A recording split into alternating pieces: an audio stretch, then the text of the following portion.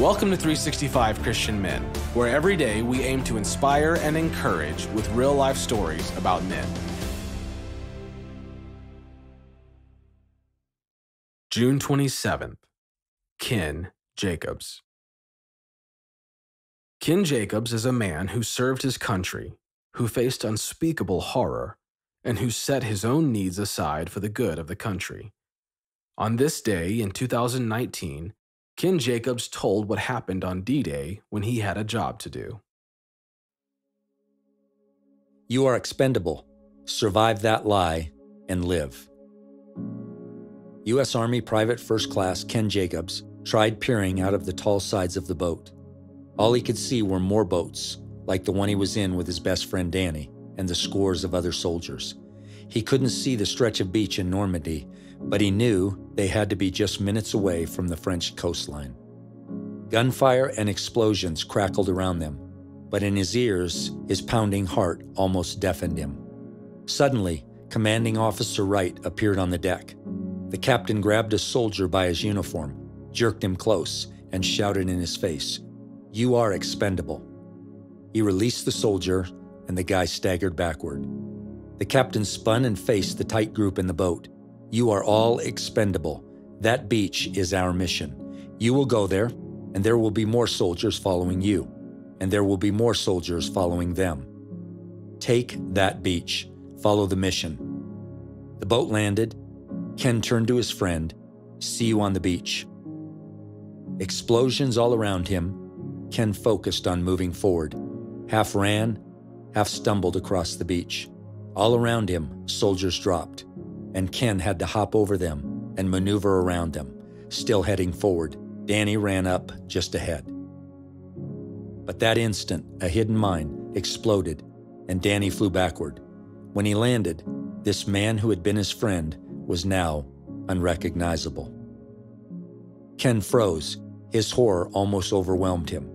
But he remembered the mission, put his head down, and pushed farther up the beach. Ken survived D Day, the Normandy invasion, a great victory for the Allied forces in World War II. Eventually, Ken went home and he married a pretty nurse.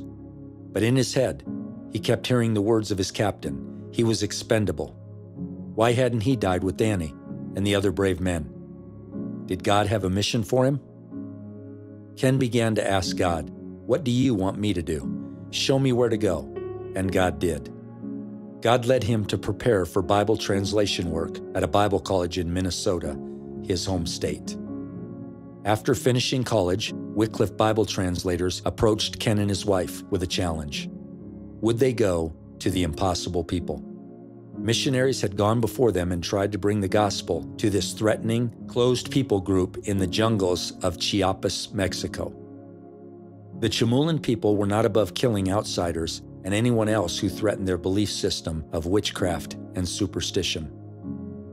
Ken and his wife did go and live with the Chamulan people for 50 years.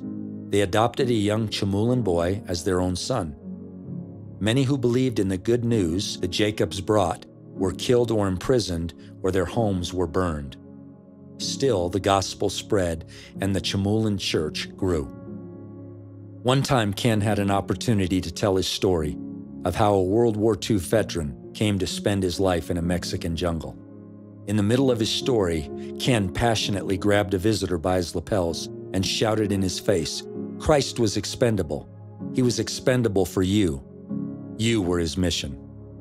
1 Corinthians 16, 19, and 20. Do you not know that your body is the temple of the Spirit who is in you, whom you have from God, and that you are not your own?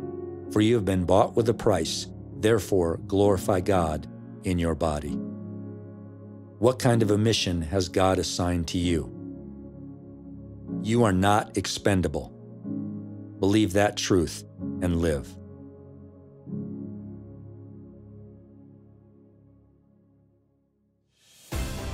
Thank you for listening to today's story. Every day of the year, our hope is to inspire you with real life stories of faithful men who have gone before us. Hebrews 12:1 says, "Therefore, since we are surrounded by so great a cloud of witnesses, let us lay aside every weight and the sin that so easily ensnares us. let us run with endurance the race that is set before us. Join us tomorrow for another story at 365christianmen.com.